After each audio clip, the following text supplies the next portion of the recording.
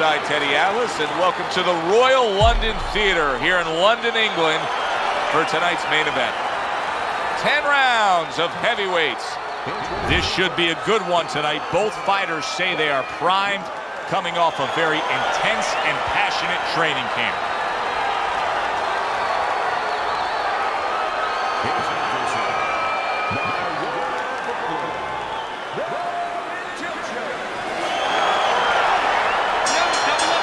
You a fight like this that everybody's been talking about, it's always so interesting to see these opening moments here in round number one. A good block. Well timed by bad intentions. And the ref's not going to tolerate the headbutt there. He hands out the warning. Blocks that punch.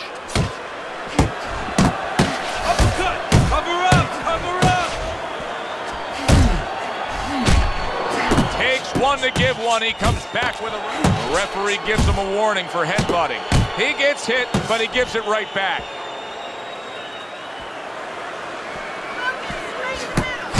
Bad intentions, his knowledge of the game is showing through. Three ways to defend. One of them is to block. He did it there well. Good right hand.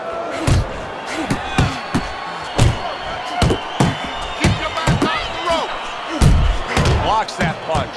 Good combination on the one-two by bad intentions. Overhand right can be so effective. Come on, kid, focus. Bad intentions is going to get a point point deduction away here for that here. clash of heads. The One referee now feels that it's purposeful what he's doing, and he's deducting a point.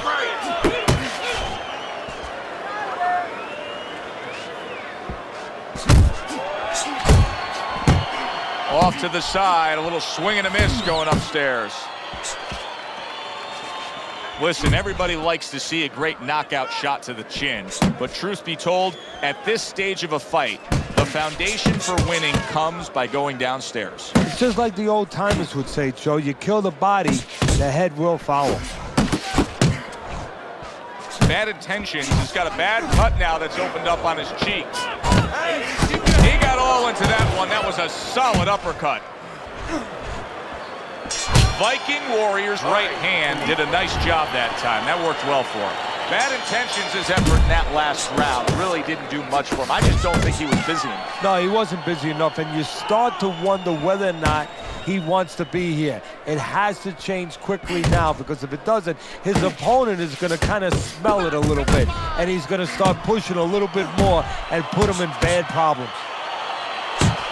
Really wanted that uppercut, but just couldn't get it. Bad intentions is the target of a hook. Jabbing it straight by bad intentions. Use the wrist. You come on, kid.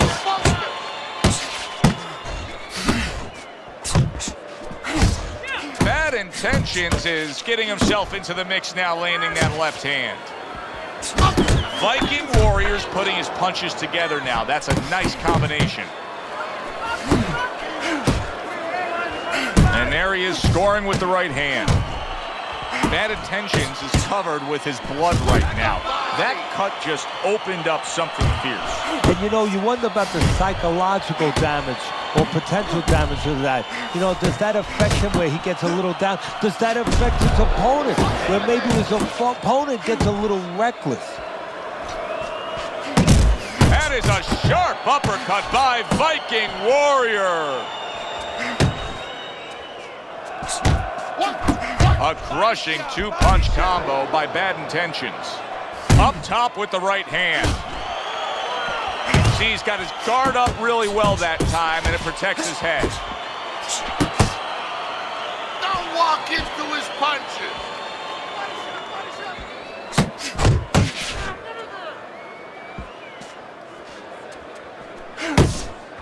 Come on. Viking Warriors at his when the combinations are landing. He scored well there with that combo.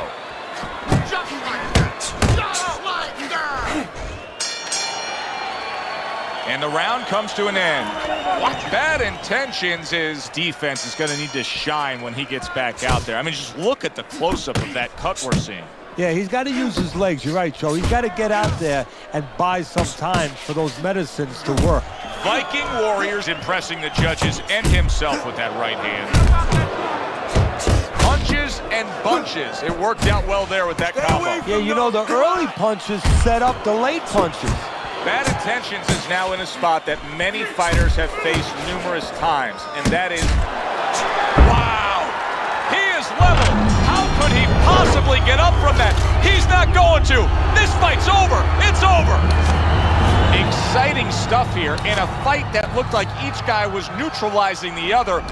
One single punch